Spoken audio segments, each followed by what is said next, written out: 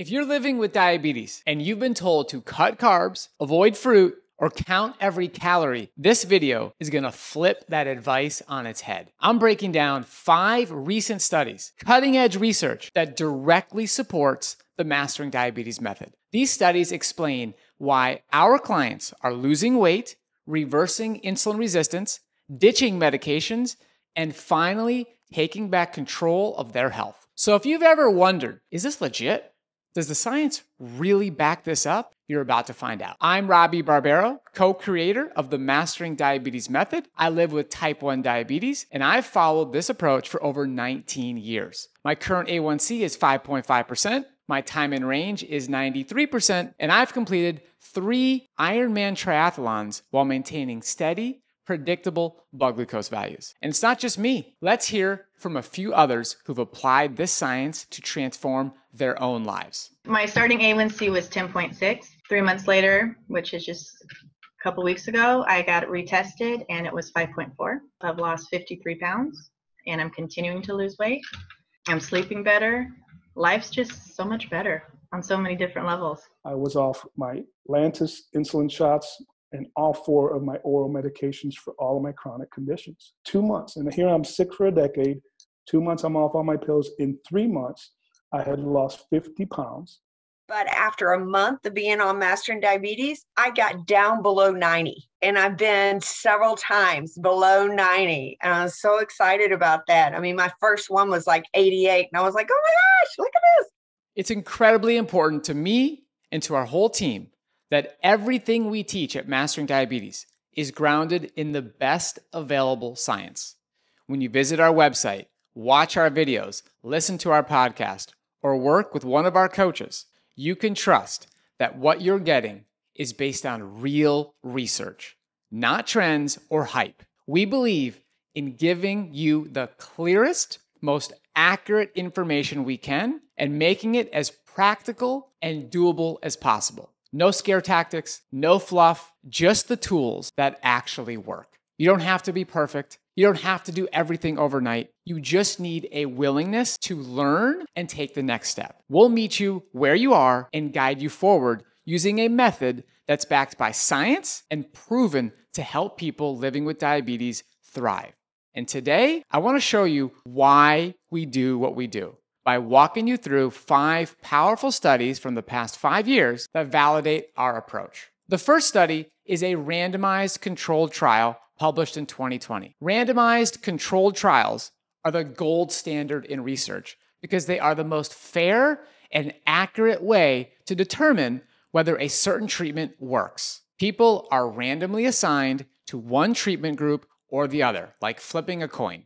In this case, the treatment was a low fat, plant based diet. So 244 people who were overweight or obese were randomly assigned to the low fat plant based diet or to the control group where no changes were made. The low fat plant based diet was 75% carbohydrate, 15% protein, and 10% fat. Over the course of 16 weeks, researchers tracked changes in each group for weight, belly fat and body fat, insulin sensitivity and insulin resistance, metabolism, how many calories their body burned after eating, and fat in their muscle and liver cells. And what they found was that the group eating the low fat, plant based diet lost an average of 14 pounds. They showed improved insulin sensitivity, had almost 19% higher metabolism, and reduced the fat in their liver cells by 34% and muscle cells by 10%. Let's break that down to really appreciate what happened.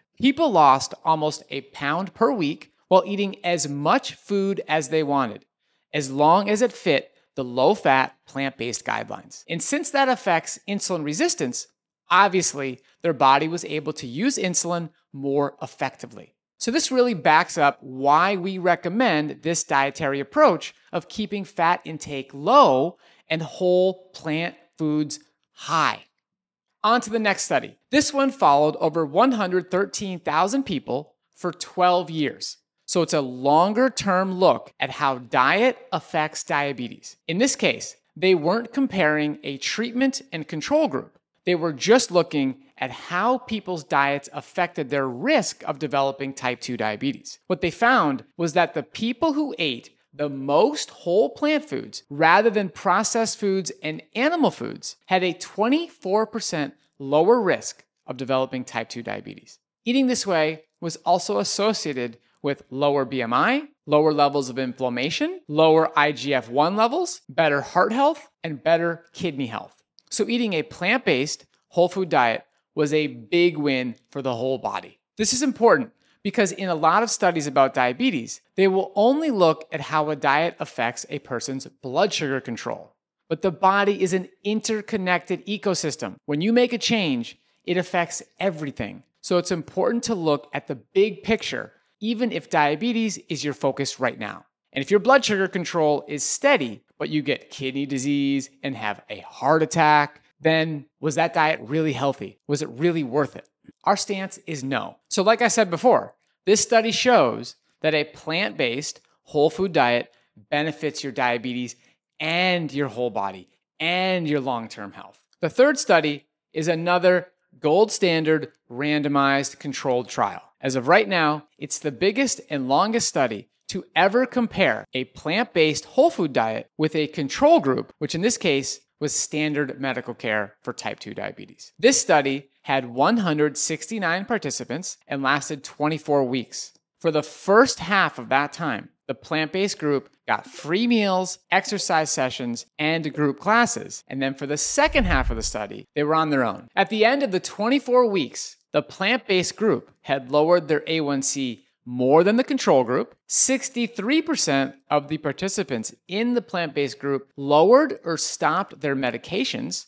23% of the plant based group reversed their diabetes to the point where they were in remission, meaning they had A1Cs and other health markers of a non diabetic person. And they lost more weight and had less inflammation.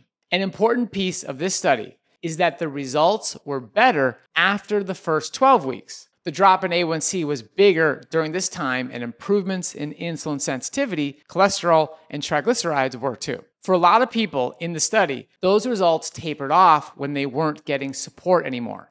This is exactly why having support makes such a big difference. When you're part of a community and you have a coach guiding you through simple, step by step changes, everything starts to feel more manageable. You don't have to figure it out on your own or be perfect from day one. You just need the right tools, the right information, and the right people in your corner. The Mastering Diabetes method works, and we've seen it help thousands of people transform their health. And the people who see the biggest results are the ones who stay connected, stay supported, and take it one doable step at a time.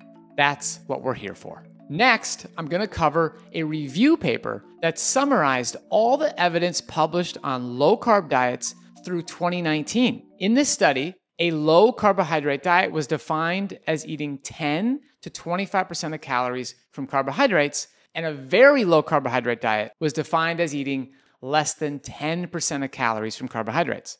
Some of the key conclusions the authors made based on the compiled evidence are low carb diets may have short term advantages for weight loss, but that is mostly due to water loss rather than fat loss. In the long term, low carb diets are not better than other diets for weight loss. The effects of low carb diets on cholesterol levels are variable, and sometimes LDL rises due to the high intake of saturated fat.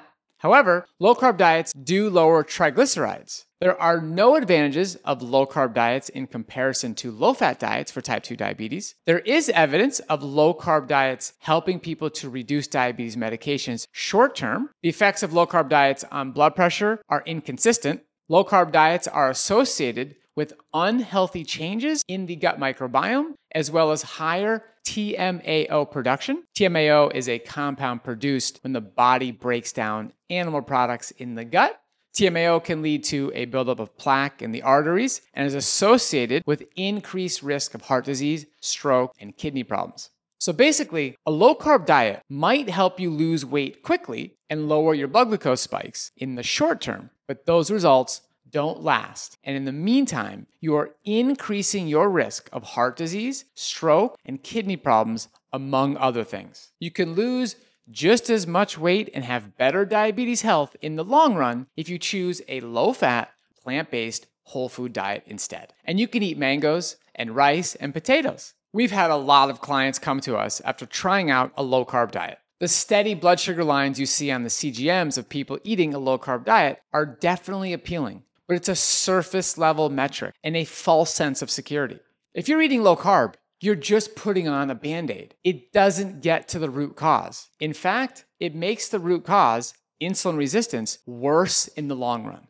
Speaking of which, let's go to the final study for today. This one followed over 70,000 people for an average of 18 years to determine the long term association between protein intake and mortality, aka risk of death. The study found that in general, when you eat plant protein instead of animal protein, you live longer. And it doesn't take much. Swapping in just 3% of calories from plant protein in place of red meat led to a 34% lower total mortality, 39% lower cancer mortality, and 42% lower heart disease related mortality. And if you did the same swap for processed meat, this led to a 46% lower total mortality and a 50% lower cancer related mortality. These numbers are insane, right? Swapping out 3% of your daily calorie intake from bacon to beans, and you lower your risk of dying from cancer by 50%? It almost sounds too impressive to be true, but we have plenty of other studies showing similar results. This is one reason why meat isn't part of the mastering diabetes method. While you might see some short term results, the long term evidence simply doesn't support it as a health promoting choice. In fact, it often points in the opposite direction. Our focus is on giving your body the best possible chance to thrive, both now and in the years to come. So, in case you need a refresher, what do we recommend eating in the Mastering Diabetes Method? The answer is pretty simple. We recommend low fat, plant based whole foods as much as you want to eat. By low fat, we mean keeping your daily fat intake between 10 to 15% of calories with 10 grams or less per meal. By plant based, we mean foods that are plants. And by whole foods, we mean foods that are in their natural form how they grow in nature or as close to it as possible, not processed and turned into something else. If you want to dive deeper, we're offering a free downloadable guide that includes a full chapter from our New York Times bestselling book, over 40 delicious, easy to make recipes, the ideal balance of carbs, protein, and fat to help reverse insulin resistance for good. Just comment guide below this video and we'll send it to you for free. These five research studies are just the beginning. And this guide will help you understand the science and how to start applying it in your own life, one simple step at a time. Thanks for watching. Now it's your turn to take action and start seeing real results.